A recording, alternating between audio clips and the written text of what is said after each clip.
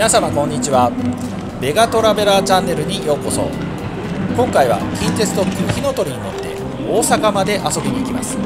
シリーズタイトルはツール・ド大阪。スペシャルステージ1第1回目キックボードで大阪南。近鉄特急火の鳥で名古屋から大阪に行き大阪南の中心街難波日本橋新世界天芝をキックボードで街歩きをいたします Hello all over the world Thank you for watching and welcome to the Vega Traveler channel This time I'm going to visit Osaka by Kintetsu Limited Express Hinotori The title of this series is Tour Osaka Special Stage 1 Osaka Minami Downtown Walk by Kickboard I'm going to take a walk around the 大阪南ダウンタウンエリア Number 日本橋新世界天芝 by Kickboard. Let's enjoy the video. Thank you.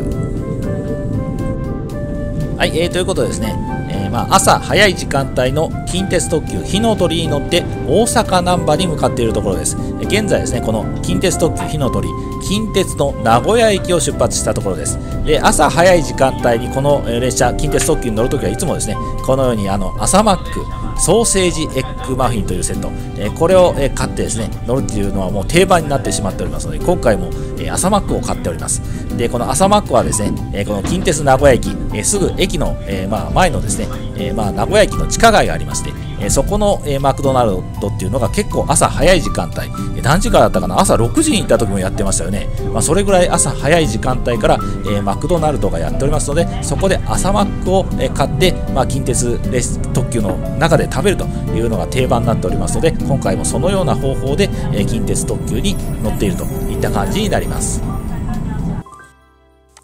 はい、えー、それでは Google マップで今回の経路を確認してみたいと思います。え今回はですね、近鉄の名古屋駅から特急火の鳥という特急列車に乗って大阪難波までまず行きたいと思います。え Google マップで検索しますと、はい、え検索するとこんな感じですね。えー、まず東海道新幹線が、えー、と選択されるんですが、この南の方が近鉄の経路となります。えー、こちらの近鉄特急の経路に乗って約2時間、遊びに行くにはちょうどいいぐらいの時間ですね。え片道2時間の旅ということで、まず大阪難波まで向かいたいと思います。はい、えー、ということで、朝早い時間帯の特急火の鳥に乗っております。えー、まあ、えー、朝ごはんを食べているんですが、大体ですね、え朝早い時間帯に近鉄特急に乗るときはですね、大体名古屋駅の地下のマクドナルド、マクドナルドがありまして、えこのマクドナルドがですね、え本当にあの朝早い時間帯から営業しているということがあって、ここのマクドナルドで、え朝マックを買って食べるといったのが定番となっております。はい、えー、それでですね、えー、私この朝マックっていうのを非常に大好きなんですよ。えー、なんでかっていうとですね、えーと、私あの海外にちょっと行ったことがあるんですが、えー、行く大体行く国がですね英語しか喋れないので英語圏なんですけど、えー、例えばオーストラリアですとかイギリスですとかアメリカですとか、まあ、そういったところですね、えー、そういったところの国をですね中心に、えーと、行っているんですがどこの国に行ってもですね大体このマクドナルドに行くと朝マックの朝に行くと朝マックのセットが置いてあって、まあ、ニューヨークでも置いてありましたよね、えー、それからオーストラリアでも置いてありました。イギリスでも置いてありました、え、という感じでですね、えーとまあ、どこの国に行っても同じメニュー、えー、朝マックそして、えー、このソーセージエッグマフィンのセットっていうのが置いてありますので、えー、非常にどこの国に行っても、えー、て言うんだろう、えー、まあ、選ばなくてもいい、まあ、すぐ注文できるといったことで非常に重宝しておりましてそれでこの、えー、朝マックの、えー、ソーセージエッグマフィン、えー、このセットが非常に好きなわけですね。ということで今回もソーセージエッグマフィンを、えー、まあ、頼んでですね朝、えこの近鉄電車の中で食べているといった感じになっております。はい、それでですね、え私の行った国の中で実はですね、え日本のマクドナルドと、え違うメニューが置いてある国っていうのが1つだけありました、えこの国皆さん分かりますでしょうか？実はですね英語圏ですよ。英語圏の国、え日本のマクドナルドと異なるメニューが置いてある。さあどこの国でしょう？実は答えは、えーと、インドです。インドはですね、え実は英語圏なんですが、英語が通じるんですが、えーと、マクドナルドに行ってみるとですね、実はインドの人っていうのは、えー、ベジタリアンっていうかな、宗教上の理由で、え、まあ、え、肉類をあまり食べないっていうような文化がありましてですね、えベジタリアンが結構いるんですね。ということで、必ず、えっと、なていうんだろう、肉の入ってない料理っていうのがどこのお店に行っても置いてあるといった感じになってるんですね。まあ、鶏肉は OK だったかな。鶏肉は OK だけど、まあ、ほとんどですね肉は食べないといった感じになっているようです。えー、ということでですね、えー、っとマクドナルドインドのマクドナルドに行くと実はですね、えー、このベジタブル野菜で作った、えー、要はハンバーグの代わりに、えまあ、野菜を何て言うんだろうコロッケみたいにして焼いたものが挟んであると、まあ、だからあのハンバーグの代わりにですね、まあ、野菜コロッケみたいなのが、え挟んであるといった、えハンバーグが出てくるといった感じになってます。はい、えー、ということでですね、近鉄のこの山奥にある駅、西青山駅とか東青山駅とかいった、えー、こういったところを通り過ぎてですね、えー、ちょっとあのリクライニングを倒して上向けに寝ているところです。ちょっと朝早かったんで、まあ、うつうつっとしてる感じですね。はい、えー、それで今回の旅ですが、ちょっと大阪でちょっと行ってみたかったなっていうところをですね、えー、ちょっと街歩きしてみたいと思っております。えー、っとですね、まずあの、キックボードを持ってきてます、えー、キックボードを持ってきてまして、これ前回のシリーズで四国へ行った時にね、えー、四国へ行った時にキックボードで街歩きをして、えー、なかなか楽しかったっていうところがあったんで、ちょっとこれ大阪の街をですね、キックボードを持って行って、キックボードで街歩きをしてみたいなというふうに考えております。はい、えー、それでこの第1回目の動画はですね、まあ、今回なんですが、えー、まあ大阪のまず、えー、大阪難波まで行きまして、大阪の南の付近をですね、キックボードで散策をしてみたいというふうに考えております。で、えーと、行くエリアがですね、まず難波から大阪難波、難波からスタートをしまして、えー、まあ隣の日本橋というエリア、えー、これはですね、電気街となっておりまして、東京で言えば秋葉原、名古屋で言えば言えば、えー、大須にあたるところなんですが、えこの電気街のある、えー、日本橋のエリアに行きます。そして、えここを通ってですね、すぐ隣にある新世界、これは通天閣っていうのがありますよね。通天閣っていうタワーがあります。えここまで行きます。そしてここを通って、え最後に、え一番南側にある、天芝という広場、こちらまでキックボードで行きたいと思います。天芝っていうのはですね、すぐ隣が天王寺駅となっておりまして、えー、まあ、ビルとしましては日本で一番高い、まだ一番高いんだよな、確か、えー、アベノハルカスという近鉄の超高層ビル、300メートル以上のビルですね、これが建っております、え、まあ、天芝、天王寺の辺り、この辺りまでキックボードで行ってみたいと思います。そして、えー、まあ、帰ってくるといった、えコースを、え想定をしております。はい、えー、近鉄特急火の鳥はですね、えー、終点の大阪難波に近づいてきました、えー、大阪難波の付近これ地下に入っているんですね、えー、ということで到着しました大阪難波ですえーと、特急火の鳥、えー、この車両、えー、まだこれ結構ですね新しい車両で、えー、中は非常に綺麗な、え感じがする、え車両となっております。さあ、えちょっとあの近鉄特急火の鳥、えちょっと降りましてですね、えまあ、大阪の街を歩いていきたいと思います。はい、えー、到着しましたのでちょっとあの電車を降りましてですね、え改札の外に出てみたいと思います。はい、えー、これからですねキックボードを使って、え大阪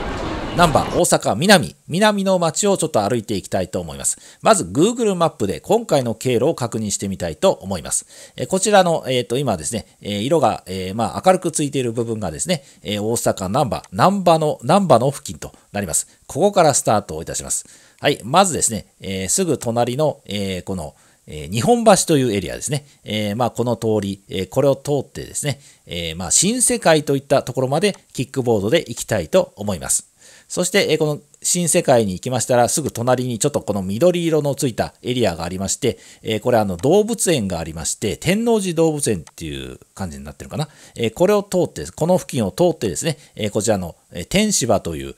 まあ、非常に大きな広場のあるエリア、えすぐ隣にアベノハルカスという日本で一番高い超高層ビルのあるエリア、こちらまで行きたいと思います。そして、え、まあ、ここからまた戻ってくるといったのが今回のコースとなります。で、えー、っと、まあ、終点はですね、ちょっとあの、こちら側の、えー、まあ、御堂筋の、まあ、出発点の、えー、この付近の大阪ナンバー、ナンバー、えっ、と、南海のナンバーの駅の横になるんでしょうかね。この辺りまで戻ってきたいと思います。はい、えー、近鉄の難波駅を地上に出ますとですね、え、これ今、え、左に見える大きな通りがこれ御堂筋、えー、大阪の中心となる、えー、道路、えー、御堂筋となります。でここにあるですね交差点にあるこの、えー、ナンバーヒップスと書いたビルの横に出てきます、えー、このように非常に御堂筋、えーまあ、広くて綺麗な通りになってますね。でこのようにですね、えー、ちょっとあの交差点を渡ってですね、えー、こちら南の方に今向かっているところです、えー、こちらの方に向かっていくとですね、えこれ南海の難波駅になるかな。南海鉄電鉄南海の、え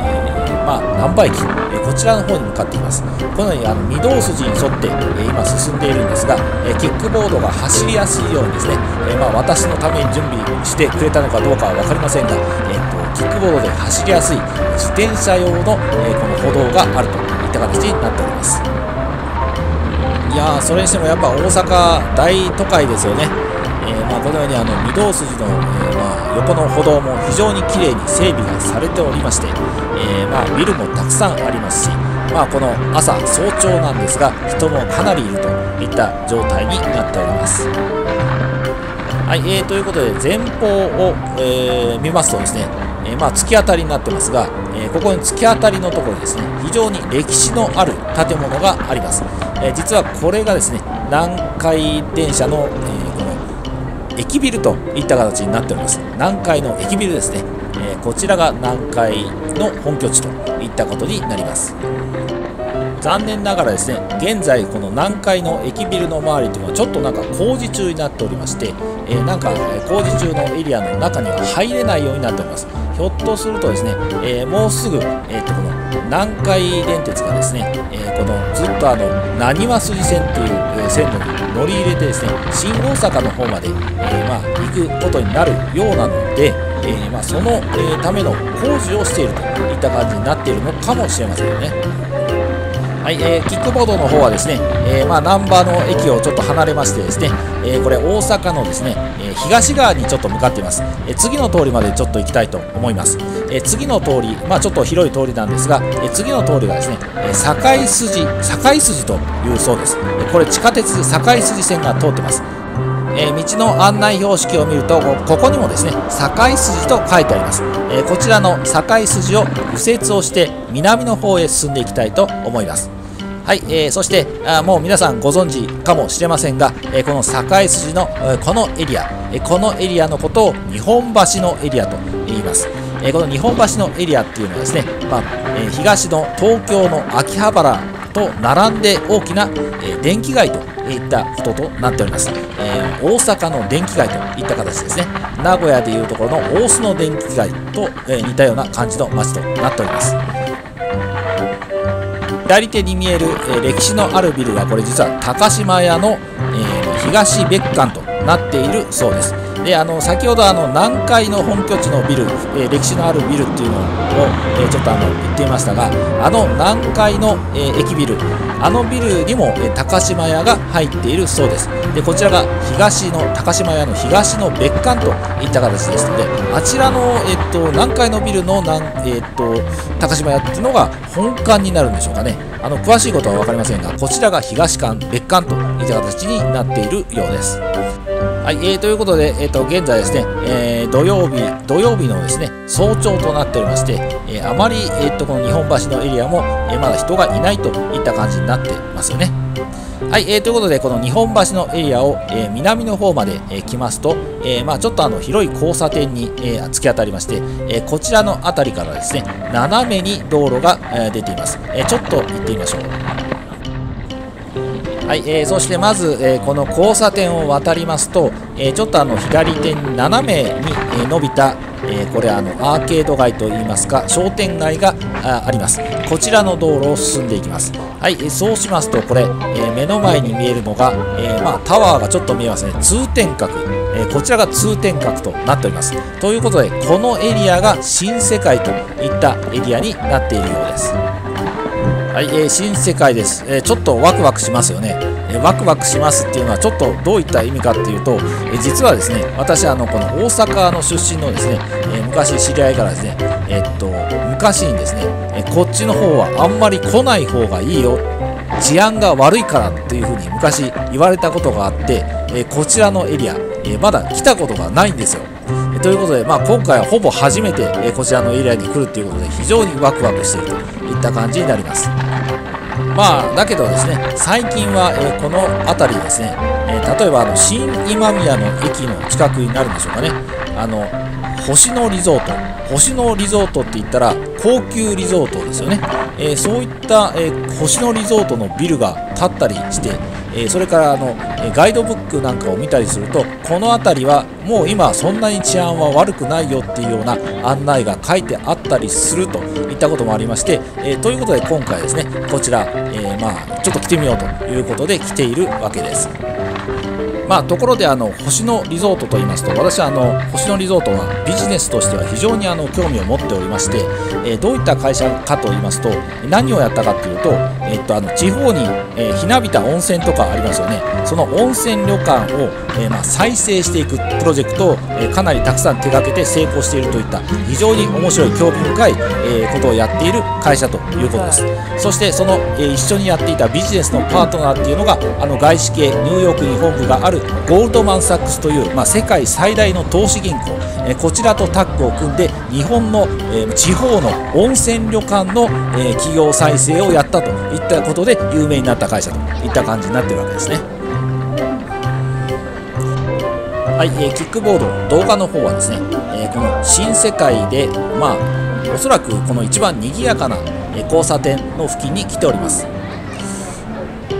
はい、えー、この辺り、えー、非常にあの看板が金色ですとか赤っていうのがたくさん使われていて非常に派手な作りになっております。で奥の方に綺麗にですね、えー、この街並みとマッチをして、えこの通天閣のビルを見ることができるといった非常に素晴らしいエリアとなっております。は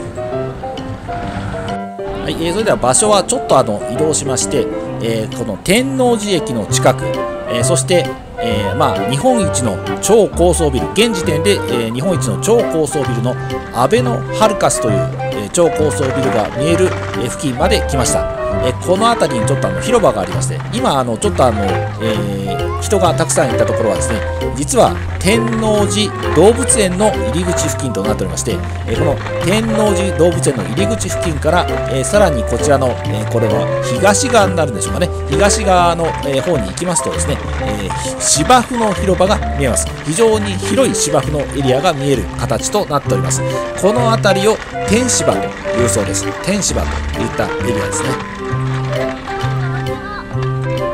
はい、えー、こんな感じでですね、大阪の南側のエリアですね、えー、っと、あのまあ、天王寺駅の付近、それから今宮駅、新今宮駅の付近、えー、この辺りは、えひょっとしたらですね、え昔は非常に治安の悪かった場所なのかもしれません、え私の知り合いもですね、えこの付近の駅で歩いていたらですね突然なんか殴られたとかっていう話も聞いたことがあるぐらいで、え非常にですね、え昔は治安の悪い場所だったのかもしれません。ただ現在現代になって、えこちらの方に来てみますとこのように非常に広いですね綺麗な芝生が整備されておりまして先ほど行きました新世界通天閣のエリアも非常にあの綺麗に整備がされておりまして非常に美しい街になっているというふうに考えられます。はい、えー、そして最近になってこの付近の、えー、新今宮駅の付近に、えー、高級リゾートホテルを運営している星野リゾートが、え進出をしてくるということが非常に話題になっています。大きな話題になっています。おそらく高級リゾートホテルの側からしてもこのエリアっていうのは非常に価値のあるエリアだっていうことを、えまあ、認識されてそれで、えっとこちらに参入してきたんではないかというふうに考えられるわけです。まあそれにしてもですねいまだにあの地上波の、まあ、メディアと、まあ、日本のメディアですね、えー、マスメディアはですね、えーと、あの外資系の、えー、投資銀行ですとか外資系のファンド、えー、この、えーと、星野リゾートっていう、えーまあ、会社もですね外資系の会社と一緒に、えーまあ、投資、まあ、企業再生のファンドを組んでですねこういったビジネスをやっているんですがどうもそういった、えファンドに対して特に外資系のファンドに対してはですね日本のマスメディアっていうのは未だにハゲタカと呼んだりですね、え、なんかあのひどいことをする人たちだとったイメージで、えー、語られる、えー、イメージをつく作り上げているところが多いと思うんですが私はですね全てが全てそういったファンドばかりではないというふうに考えております、えたまたま、えなんか、え非常にひどいことをするような、えファンドも中にはいるかもしれませんがこれはごく一部ではないかというふうに個人的には思っております。実際、えーとまあ、このゴールドマン・サックスという投資銀行ですね。ファンドを作って、えー、まあえー、こういった日本の地方で、えー、まあ、苦しんでいた、えまあ、旅館を再生するっていった、えビジネスをやっていたりですね。あとはですねこの大阪の付近ですと、え USJ ってありますよね、えーと、あのユニバーサル・スタジオ・ジャパン、えこちらの、え経営が悪化しておりまして、ここをですね、えまあ、救済出資といった形で、え出資をして、え一緒に入ってですね企業再生をしたっていうのが、えこのゴールドマン・サックスといった会社となっているわけです。はい、えー、この天芝の付近をちょっと歩いていましたが超高層ビルのですねアベノハルカスが見えたりあとは、えー、非常に広いですね広大な敷地のこの芝生の、えー、公園があったりということで非常に、まあ、大都会の中にあって落ち着くことができるオープンスペースだなっていう感じがしております。非常にいい場所だなというふうに思いました、はいえー、場所はちょっと移動しまして天芝、えー、天王寺の天芝の付近からですね新世界に戻ってきました。えー、非常に時間が、えー、先ほどはですね、え、こちら通った時はですねちょっと朝方で人が人通りが少なかったんですが、えかなり人通りが増えてきました、えちょっとこの人通りの増えた、え新世界のエリアをちょっと歩いていきたいと思いますはい、えー、この辺り、えーとえー、新世界の辺りですね。フグ料理のお店は結構目につきますよね、えー、てっちりとか書いてあります。えー、っとで私実はですねこのフグ料理未だに食べたことがないんですよ。なんで食べたことがないかっていうとなんかフグ料理を食べてなんか手がしびれたりあとは、えー、中には死んで死んでしまった人がいるとかっていう話をよく聞いていたのでで、まあ、怖くて食べていないということです。実は怖がりなんですよね。まあえー、っとそれでこのようにですね、えー、分かると思いますが、えこのようにこれだけ人が、えたくさんいるとですねキックボードに乗ることができません。分かりますよね、え、ということで歩いています。ということでやはりですねキックボードで、え、街を散策するとなるとですねこういった繁華街はちょっと向かないかなっていう感じがしております。はい、えー、ということでですね、えー、実は、えーとまあ、今回の動画はこれで、えー、ナンバーナンバーまで戻ってですね、えー、今回の動画おしまいといった形にする予定なんですが、え、次回がですねえー、この難波から、えー、また、えー、北の方の繁華街を、えちょっと練り歩いてみようかキックボードで歩いてみようかといった予定を当初立てていたんですが、えちょっとですねこれだけ人が多いとですねさすがにキックボードで進むと、まあ、邪魔になるということで、えまあ、それで歩いていかなければいけなくなるといった感じがありますので、えちょっとコースを変更することにいたしました。えどこのコースに変更したかと言いますと、え大阪には、え中心を通る非常に広い道路っていうのがありますよね。